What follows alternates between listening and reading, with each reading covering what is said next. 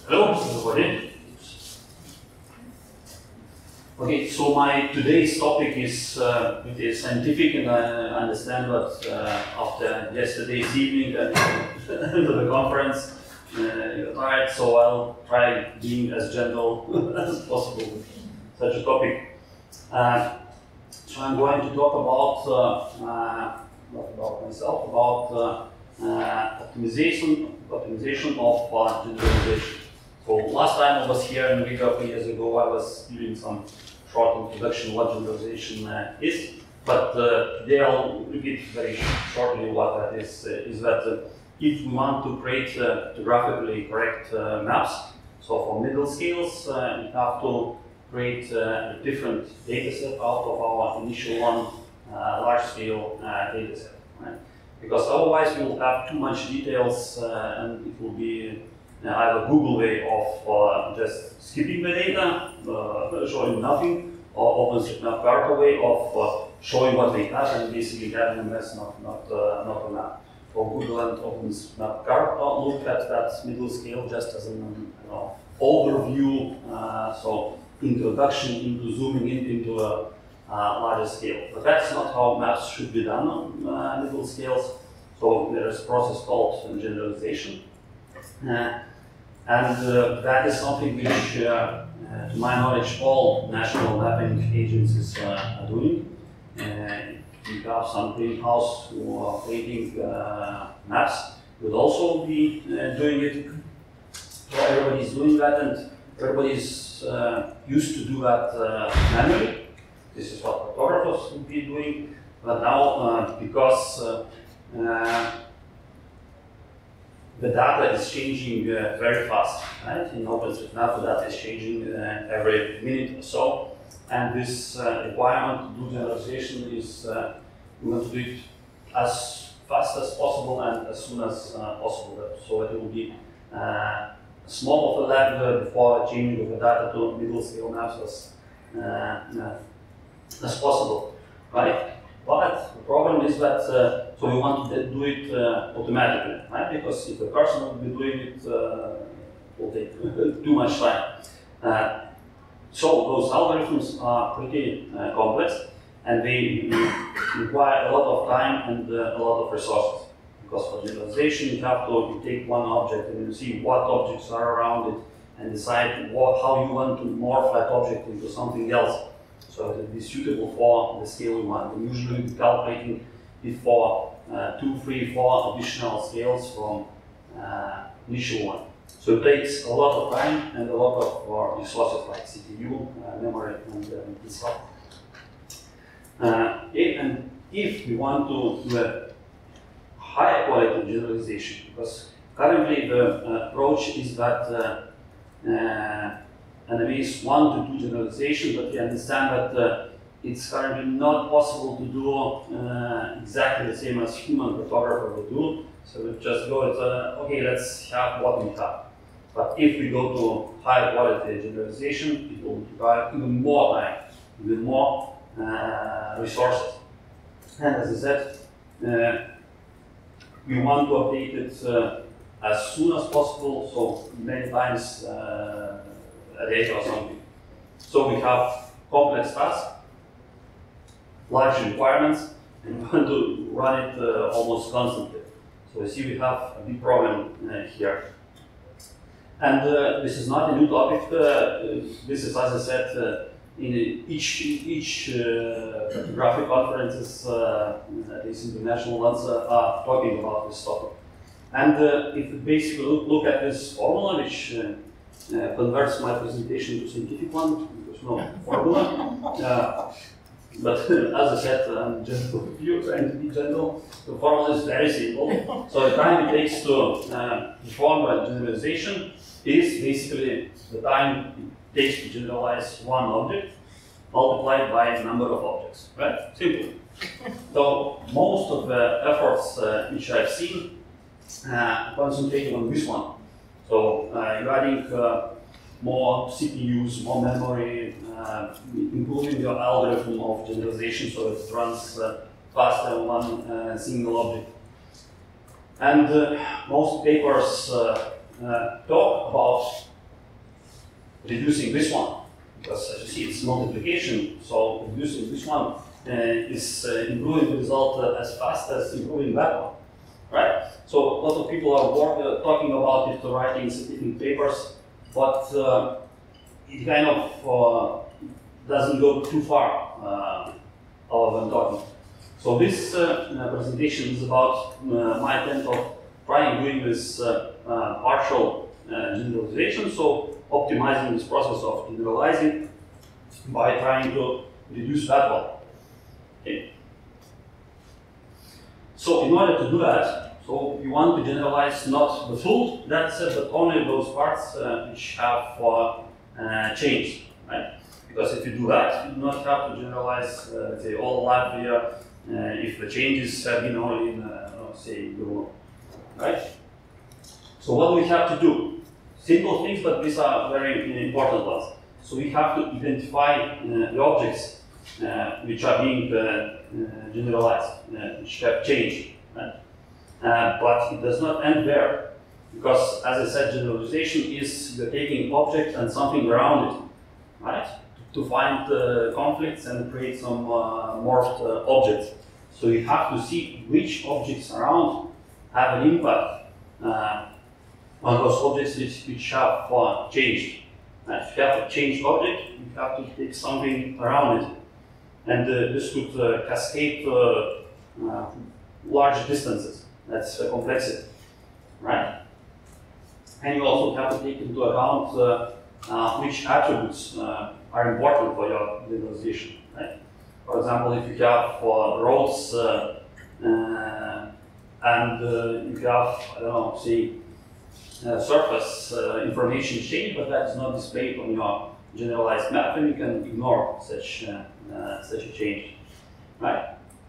And uh, how can we identify uh, the changes? Well, in OpenStreetMap it is uh, simple because each change is uh, recorded, so we can easily uh, identify what has changed.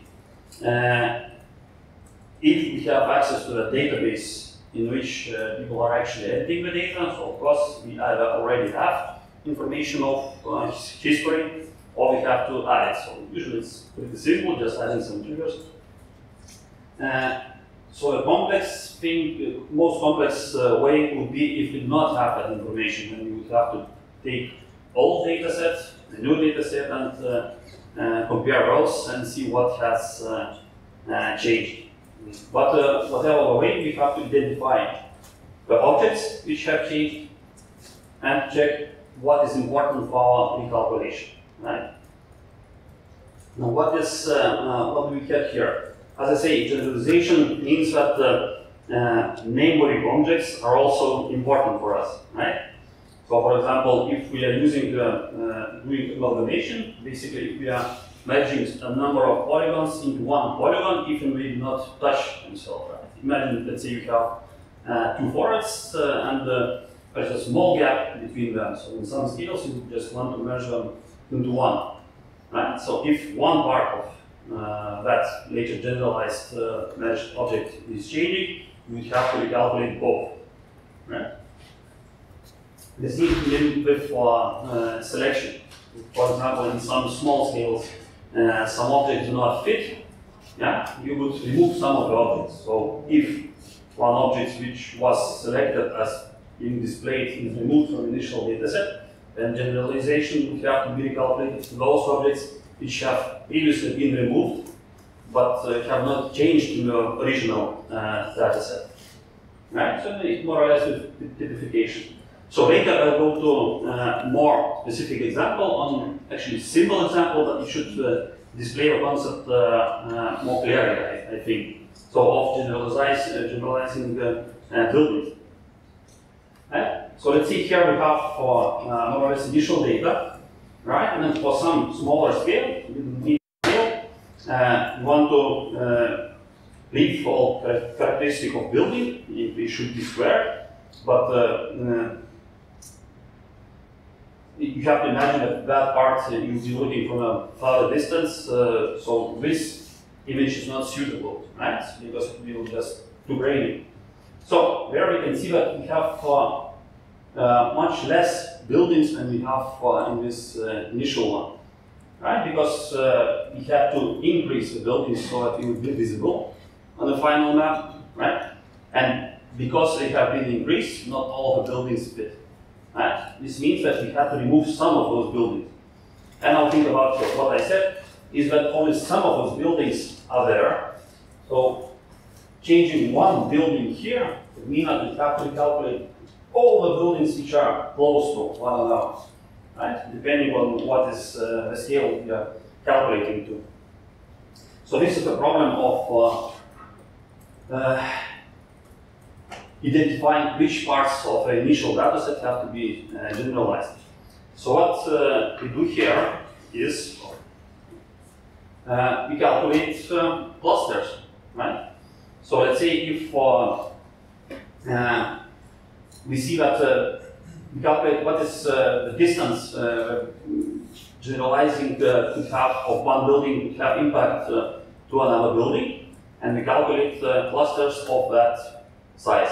Right, so here we have buildings and we have four clusters uh, identified, meaning that if anything changes in this cluster, we have to recalculate all here, but not in other clusters, right?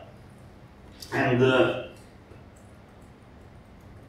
this was actually not only uh, written as a presentation, but implemented uh, and tested. So in this case, under these clusters, we have uh, simply simple version of uh, clustering everything. So all the different scales. So basically, what you see here is this gray one is initial geometry building, and for another scale and for another scale. So everything is in uh, in one cluster, so it will be more simple to uh, calculate. This is just for you to understand how those clusters would look. So on uh, some uh, uh, suburban uh, places, uh, the clusters would be smaller, but for cities, so densely built up areas, the cluster could be very large. It's meaning that if something changes here, we would have to recalculate all that uh, because of this impact of one change to another. Right? So uh, if we can identify such clusters which have influence, so our process of generalization goes uh, like this. So, so we do initial generalization, which is exactly the same as uh, we do without this process. But what we do after that is we calculate those clusters, which is uh, I've just shown, right? So after some time, we have data update. Right? So data has updated. What we do is we identify which clusters are uh, called depth. Right, so which clusters we would have to recalculate. So every object in generalized data set uh, which goes under those clusters is deleted and we take all the objects in initial data set, change one, also under those clusters and we calculate only those. Right? And we get new data. And then out of that, we calculate the, those places, change the clusters uh, again. And after that, the process repeats indefinitely uh, again and again. The point here is that this initial long generalization is replaced with a shorter one uh, here. Okay. so, for example, if we have those initial uh, clusters and we have a changed uh, object here, so it will have no impact on existing clusters. Nothing has to be recalculated from existing one. Uh, of course, after generalization, you will, have new cluster here. Here we have to recalculate this cluster to be increased. In this case, we have to recalculate both clusters, and probably they would merge into uh, one. Okay, we also have to take into account that uh, depending on what is an operation of generalization, we might have to take into account other objects which are not the objects we are actually generalizing. For example, buildings, at some scales we be defining buildings, which would mean that you change the building into some square, and you want to turn it uh, towards the closest uh, road. right? This means that even if the buildings haven't changed, but if a road which is close enough to one of the cluster has changed, you would have to tag those clusters as dirty and will have to recalculate. Right? Because if a road was one had one shape, now it has another shape. It could be that in the resulting building typified is turned slightly uh, differently. Right? Uh, now, so as I said, this was implemented to see if it actually uh, works and get some uh, metrics.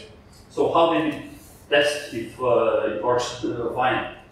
Uh, so we were running two data sets in parallel. One was doing whole day, doing full generalization, and on separate tables, we are calculating incrementals, so the one described by this uh, uh, process.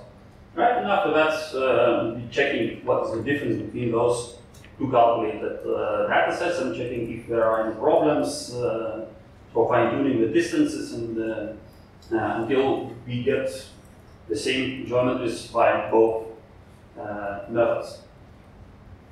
Right, and this is the result. So um, you can see this moment is the time it takes to do the full generalization.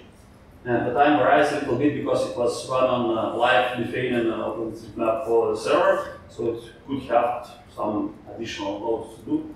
But you see, mostly it is uh, close to one and a half hour it takes to generalize, generalize all buildings in uh, Lithuania.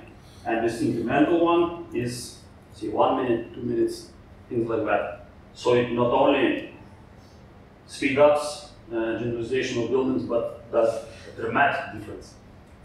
Right?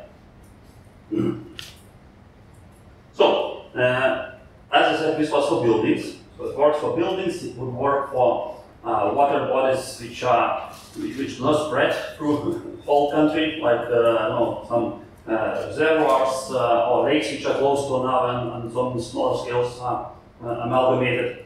But this, this approach specifically would not work for roads because those would span whole country usually. Unless you could think about like uh, maybe separating roads uh, which have the same number uh, having smaller objects. Uh, and the would, work, would not work for uh, railways or rivers. We would have to think about something like splitting them in order to calculate this uh, partial generalization. Right? And um, mm, possibilities for further improvements is we could uh, later split our uh, clusters per some natural uh, boundaries. So maybe some large uh, rivers, uh, other things which could invert clusters are separate. And as I said, currently this cluster makes uh, uh, all of the calculated uh, different generalized data sets dirty, so we are calculating everything. but we could improve that pretty simply by doing this calculation of, of clusters for each resolution separately. Could mean that we do not have to recalculate uh, everything. So this is basically it. Uh, this is what I wanted to show you. Thank you.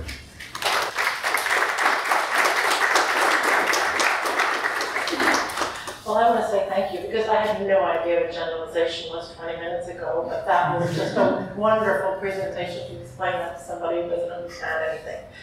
But let me ask you several questions that have uh, come in from the audience, and quite a few. So let's start at the top, and you can read them up there as well. But uh, do you have a project? Do you work with clients to carry out generalizations? Is this something that you and your company do? No, not yet. Okay, so Uh, potential I'm, I'm actually writing the, I don't know if you can call it scientific paper about it, and we'll see what turns out of that. Okay, so we have a potential client in the audience, excellent.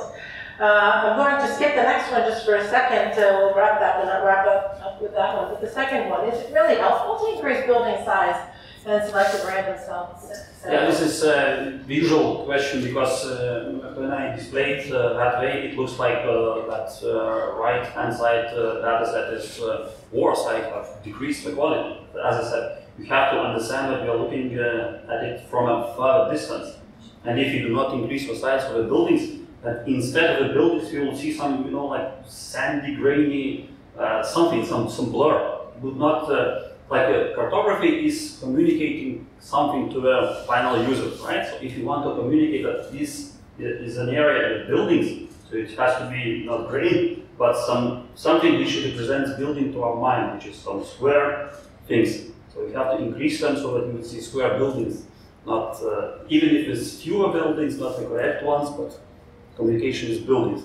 Okay, so that picture on the right, we can imagine in the real world would have been shrunken down so Yes, that you would have a different uh, level of. of And if you, if you want, you can go to top of .open map .openmap.lt and that uh, uses this algorithm and you would see if you decrease uh, uh, the scale, you would see those uh, buildings uh, changing uh, simplifying it, uh, probably that would be more clear to understand how it works. How is this specific building generalization working in cities? Uh, as I said, in, in cities, uh, your cluster would be larger, so the change of buildings in cities would mean more recalculation, uh, but still you would uh, skip uh, recalculating uh, buildings outside of the city.